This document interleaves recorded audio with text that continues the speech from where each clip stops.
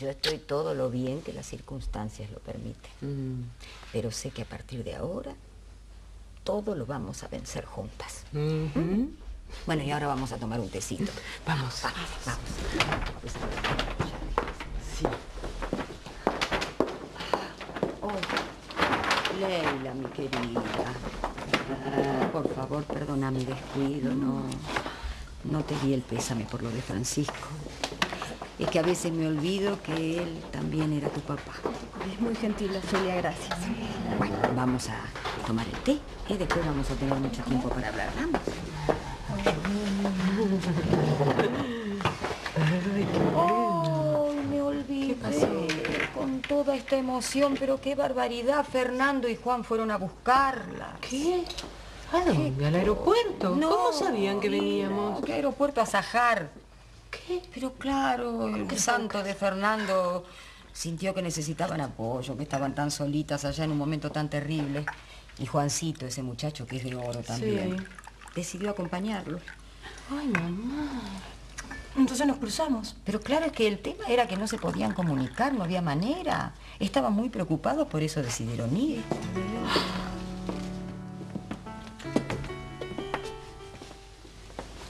Necesito discreción y eficiencia. Y es urgente lo que te tengo que pedir. Siempre estoy a sus órdenes, señor. Quiero que la hagas venir a Ingrid, que la encuentres. ¿Por qué no volvió? No se tomó suficientes vacaciones ya. No confían demasiado en ella, ¿no? Nunca confié. Y además, ¿sabe qué? No quiero que se involucre más gente en mis asuntos privados. Ella conoce muy bien Buenos Aires. Y es la persona ideal para traer a Leila Zahar. Sin ninguna preocupación. Trataré de encontrarla, señor. No creo que ande lejos. Bien. Que sea lo más pronto posible, por favor. Bien, señor.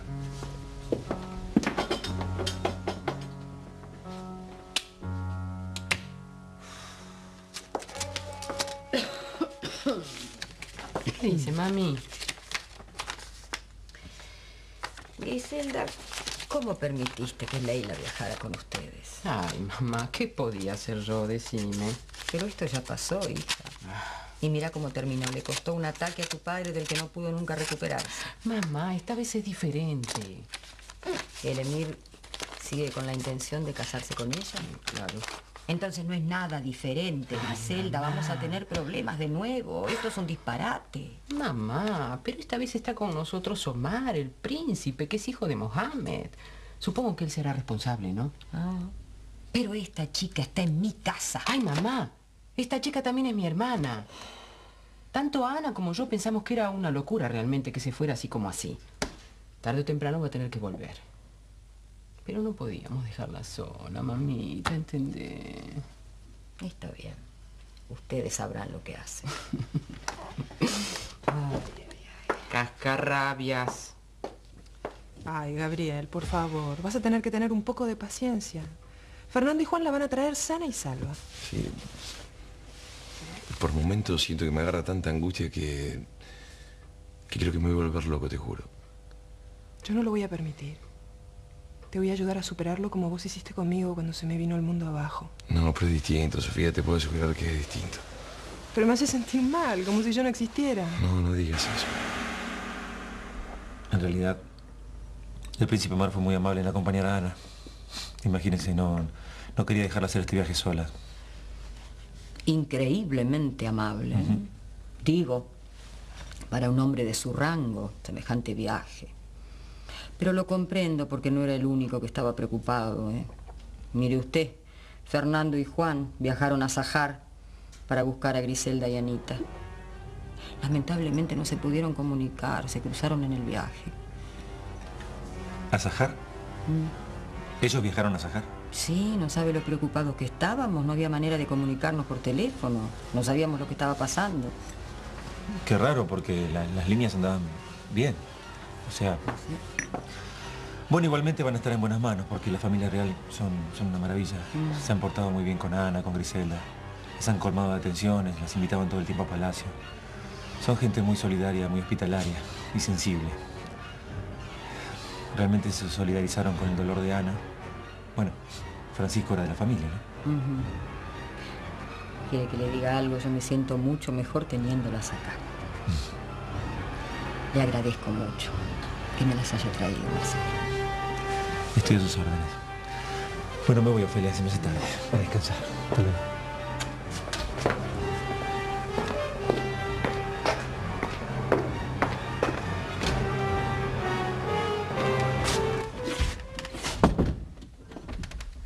Está bien, padre, comprendo. No, no comprendes. Tienes que convencer a Leila de que vuelva a Sajar cuanto antes. Bueno, eso no va a ser fácil. Pero eso depende de ti. No, no es tan así. Yo no quiero disgustar a Ana. Ella se va a oponer a que Leila vuelva en contra de su voluntad. Lo que a nadie parece importarle es que Leila se haya ido de aquí, siendo yo el emir y ella mi prometida. No sé qué decirte. Creí que te interesaba mantener relaciones cordiales con Ana Martens. No sé, tal vez si intenta ser un poco más diplomático. Estoy tratando de ser diplomático, hijo mío, por eso te estoy pidiendo que te hagas cargo tú. De lo contrario, la haré volver a Leila como sea.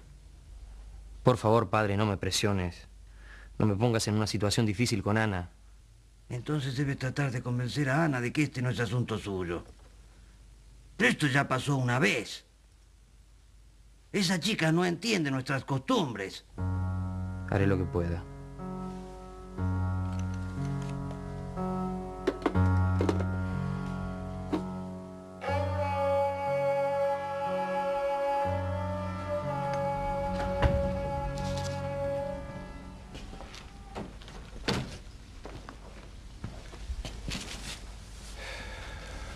Habrán llegado.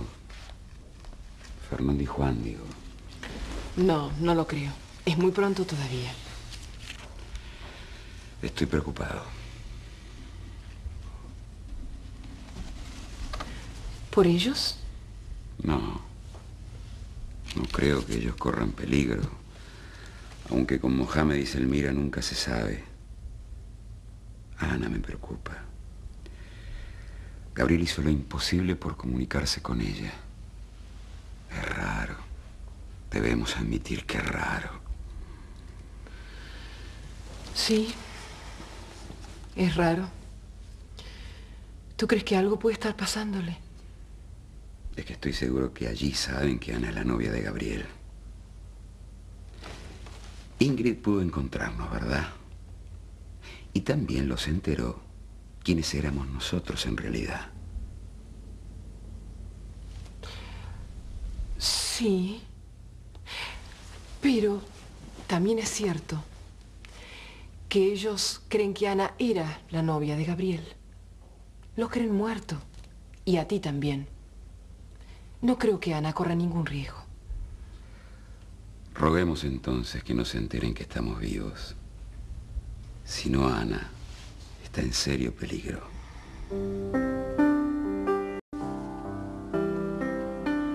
Estoy mal, mamá. Estoy triste. Ya lo sé, chiquita. Pero yo no puedo darte palabras de consuelo porque, porque no sirve. El consuelo viene de a poco, con el tiempo.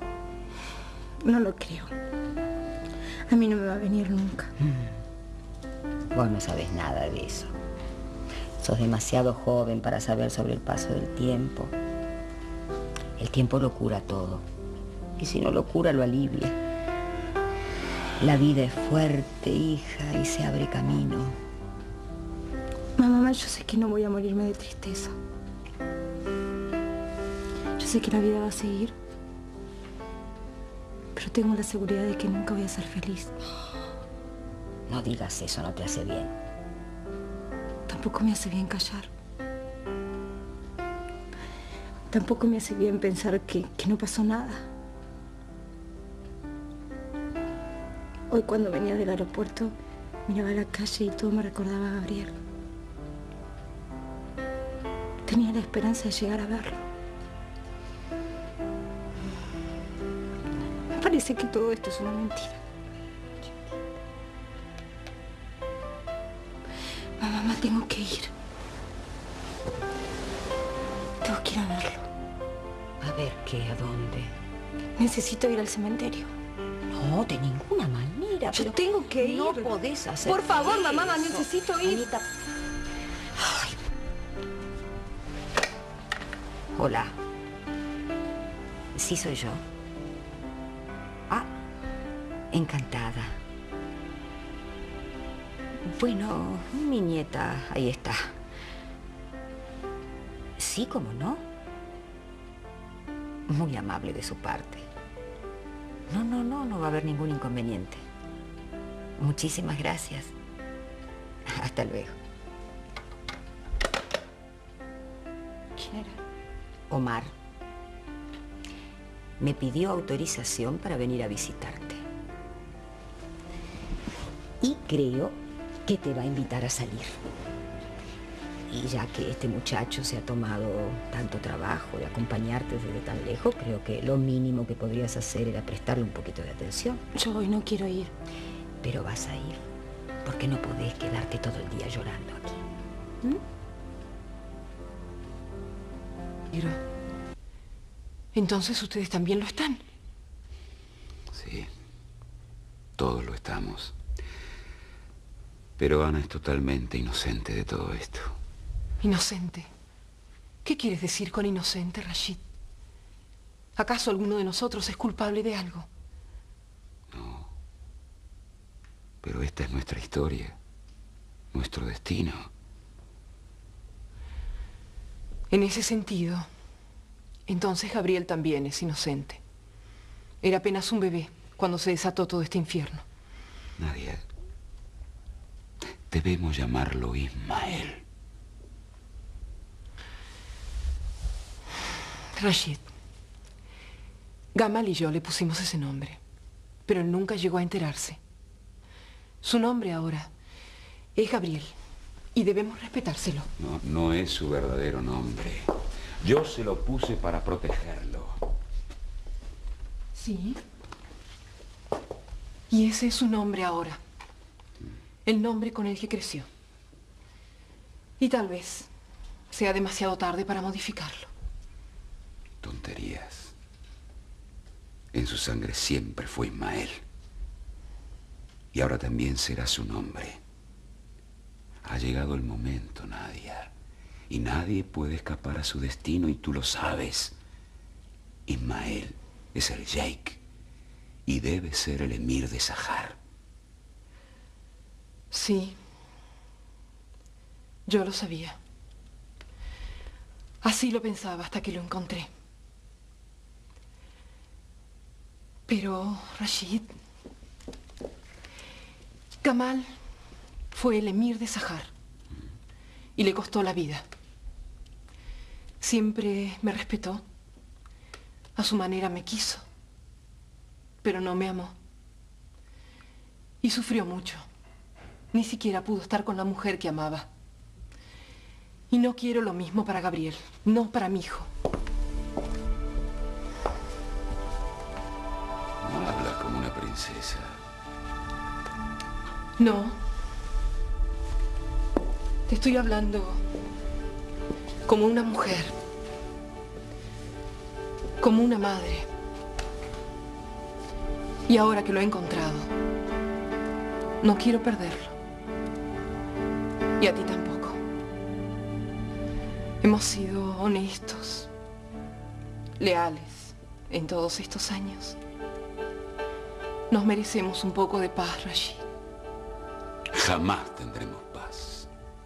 Mientras en Sahar no haya paz. Jamás tendremos paz. Mientras Mohammed y Selmir estén donde están.